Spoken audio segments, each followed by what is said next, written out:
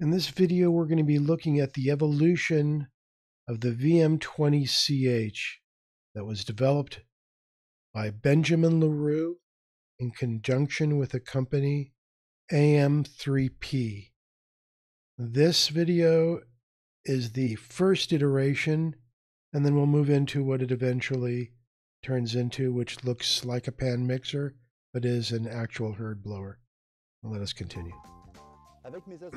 so in the center is Benjamin Leroux, well-known developer, installer, contractor in France. They're using Chanvribat, which is Tradical's branded hurd, and they're using their Tradical PF70, which is a pre-formulated hempcrete binder. I'm not suggesting you import it, I'm simply stating what is being used on this project.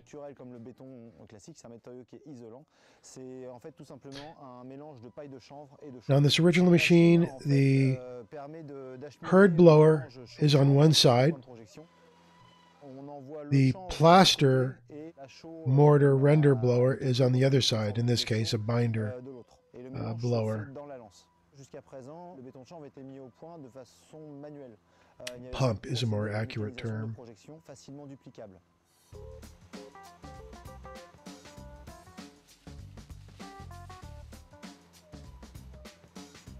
Avec le procédé de projection de, de, de, béton de chanvre, on peut aller beaucoup plus vite au niveau de la réalisation. Now, even though the main part of the machine is developed in what looks like a pan mixer, the nozzle stays the same. There are WIPO patents, those are International Patent Organization. You have to file with them first, and then you file in your respective countries. If you file only in your country, it will only be good for your country, and you will not be able to then file in WIPO and have that carry into any other country, and you risk not being able to protect yourself and any other countries you take your invention to. Someone please get me some hurd that looks like that.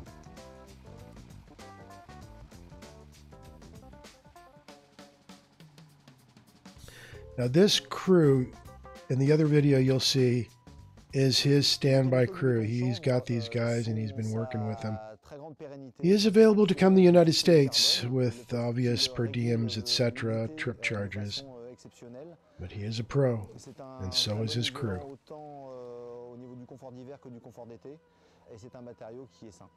Pour moi, construire durable, c'est construire avec des matériaux sains, avec des matériaux naturels, des matériaux qui protègent l'environnement par un impact carbone plus faible.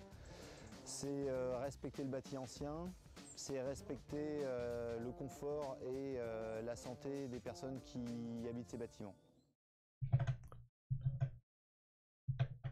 All right, so let's move into what his second company was, which was Process Chanvre.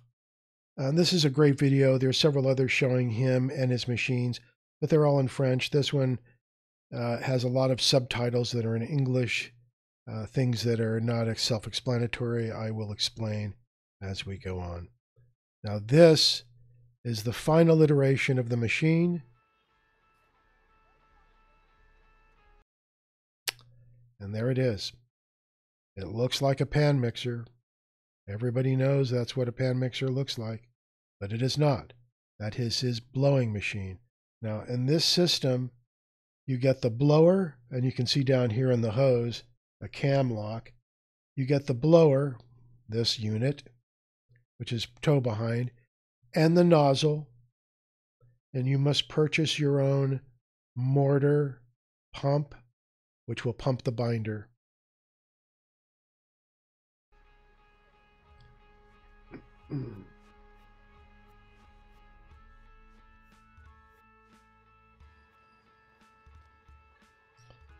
Now this is a mix-in nozzle system.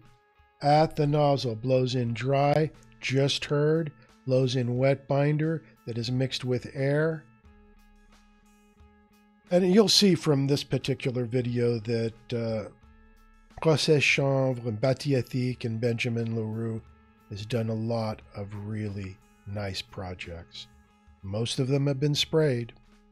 He's quite skilled.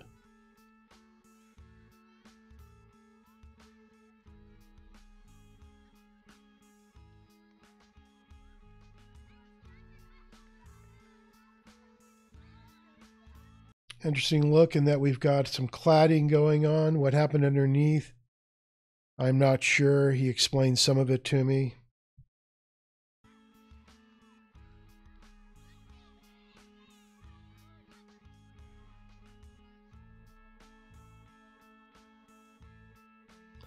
Roof spray in on a permanent shutter, second floor.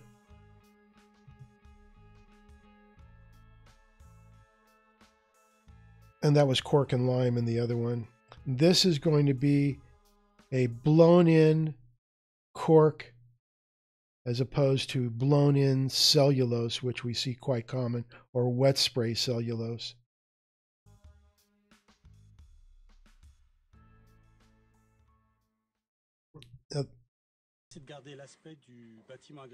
In Europe.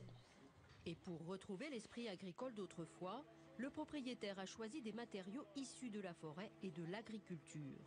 À partir d'une ossature bois, on remplit Now here they're calling it the D2, but it's really listed as the VM20CH, which is what the hell anyways. Bah, en fait, le, le béton chanvre, c'est euh, de la paille de chanvre, donc de la chènevotte, avec, euh, avec de And as you can see, this particular machine, as well as several others, lays down quite a bit of material very quickly. This is their curved nozzle. We have a 45 degree that does something similar. La ville de Paris s'intéresse aussi au béton de chanvre dans le cadre de son plan climat. Dans cet immeuble, Many of you will notice some of these projects permet de répondre à une double exigence, that have been shown, énergétique à des coûts maîtrisés. and you were probably unaware of who was behind them. Like this one. Now, this really is a great shot.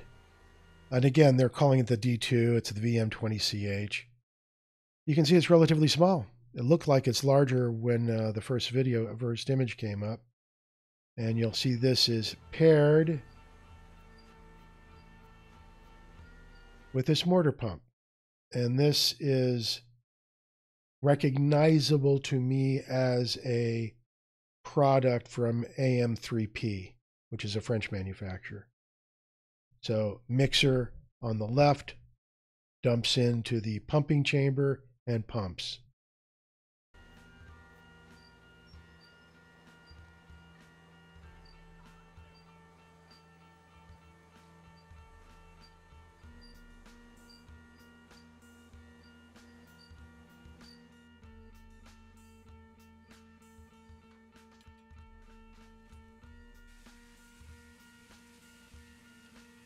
Now you notice three hoses here. The left is the hurd being blown. The next hose, quite large, is your binder hose, binder pump, mortar render. These pumps take on a lot of pressure, so they're quite heavy and quite thick. The next hose is the air that mixes at the nozzle. So the air mixes with the binder, aerosolizes the binder, mixes with the hurd.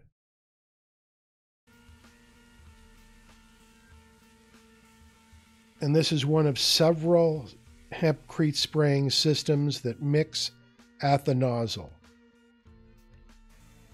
There are gunites, hempcrete spraying systems that mix at the nozzle, but that's dry binder and dry hurd, and that is wetted at the nozzle in a gunite system.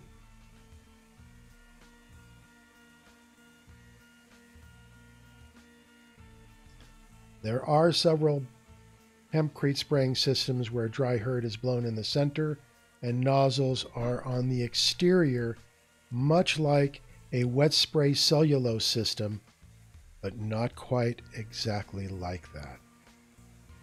Because of the viscosity of the binder, it requires a little bit different action than a what's commonly known as a dry or sorry, a wet cellulose system. Now this is a great look at a laser uh, guiding system as opposed to running a Darby or a long uh, Mason's uh, straight edge as a guide or leveler.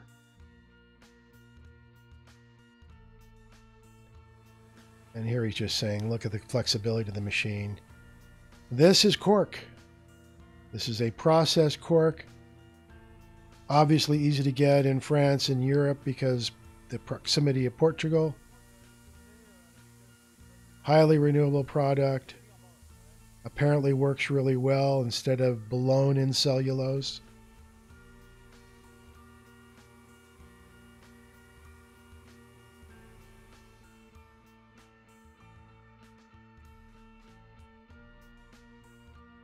And that just means a big project.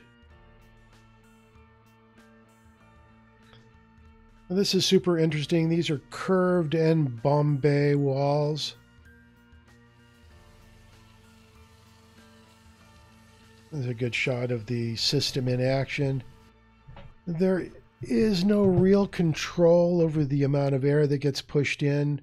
Uh, our system allows a little more subtlety in the mixing of air and the aerosolation of the binder material. Oftentimes you'll see certain binders have different viscosity. If you're using a clay slip versus a traditional binder.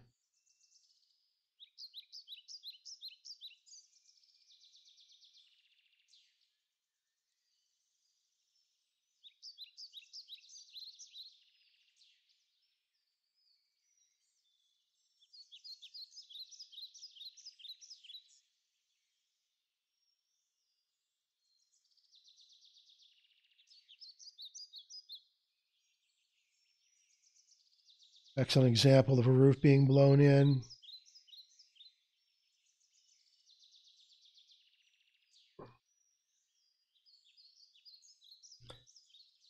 And as I said, some of these projects are well known to you already. You probably just were not aware that it was being done by Benjamin Leroux, Batiétique, Procès Chanvre, and the machinery behind it. There you are. Enjoy. Ciao.